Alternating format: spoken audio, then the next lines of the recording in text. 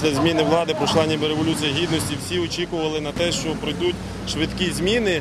Після виборів президента, тим більше на сьогоднішній день ми бачимо, що нам присилають з центра все-таки своїх людей, які вигідні їм, а не тих, які би хотіли щоб займали ці посади наші люди. До нас звернулися в тому числі і в місто Дубно підприємці, два чоловіки, які е, написали заяву про те, що з них на митниці Рівенській вимагають хабарі.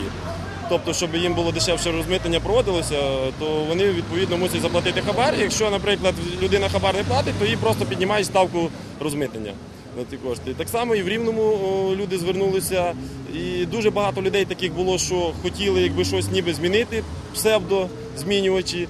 А на сьогоднішній день ми бачимо, що все-таки все стоїть на місці вертається назад. Тобто всеукраїнське об'єднання Свобода не могло на це все відреагувати. От і ми зібрались повністю всім своїм колективом, і щоб люди всі побачили, що нам потрібна людська допомога для того, що не все так гладко в державі, як ми думали. Нам потрібна людська допомога, щоб ми могли е, щось все-таки змінити.